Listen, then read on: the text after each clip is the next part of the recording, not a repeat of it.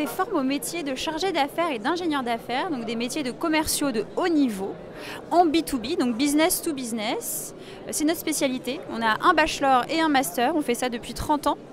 Euh, et on forme donc des étudiants à post-bac plus 2 et post-bac plus 3 pour un bachelor et un master.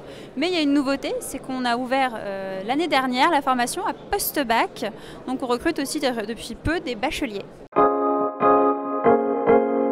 C'est-à-dire que nous, on est une école spécialisée. On va toutes les, matières, les cours qu'on va apporter à nos étudiants, ce sont des cours euh, qui vont être au service du métier auquel on les forme, c'est-à-dire au métier de chargé d'affaires et d'ingénieur d'affaires n'est pas une école généraliste. La majorité de nos intervenants sont des professionnels qui viennent apporter à nos alternants des cours très concrets, très opérationnels, qui vont mettre en œuvre sous forme de cas de vente, de jeux de vente, euh, donc des, cours aussi qui sont très euh, dans l'échange euh, et dans l'aspect concret des cours.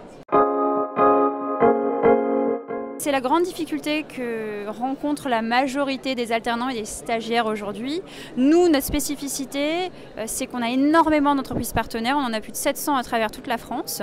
Et à travers nos coachings, nos job dating euh, et nos envois de CV, on aide énormément nos étudiants à trouver leur alternance, si bien qu'il n'y a quasiment aucun étudiant qui ne trouve pas euh, d'alternance en venant chez nous.